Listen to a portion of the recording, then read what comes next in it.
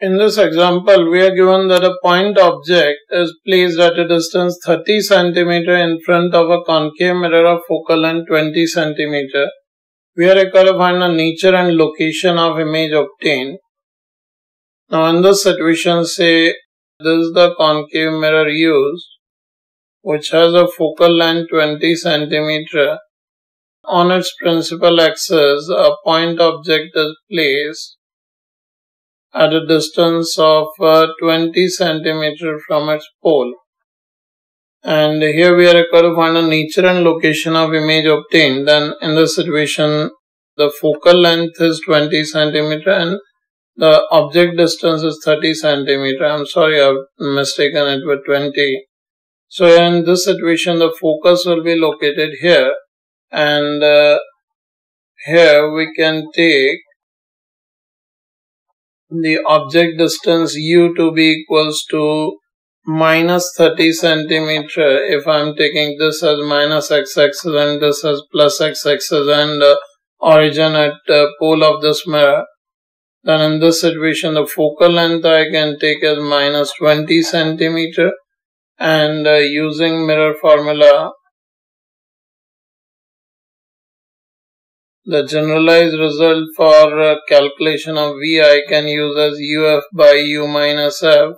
So on substituting the values this minus 30 into minus 20 divided by minus 30 minus of minus 20 that will be 30 into 20 this minus gets cancelled out. It will be 30 into 20 divided by minus 10 on simplifying, we are getting the result to be minus 60 centimeter. That means the image will be obtained at the left of uh, this mirror at a distance 60 centimeters. So this is the position where image is obtained. The location will be at a distance 60 centimeter from the pole of this mirror. And here, if we wish to draw the ray diagram, then we can say all light rays which are incident on the mirror from uh, object after reflection these all rays are going to meet at the position of image. And here you can see that all uh, reflected rays corresponding to these incident rays are converging and meeting at uh, the position of image. That means uh, image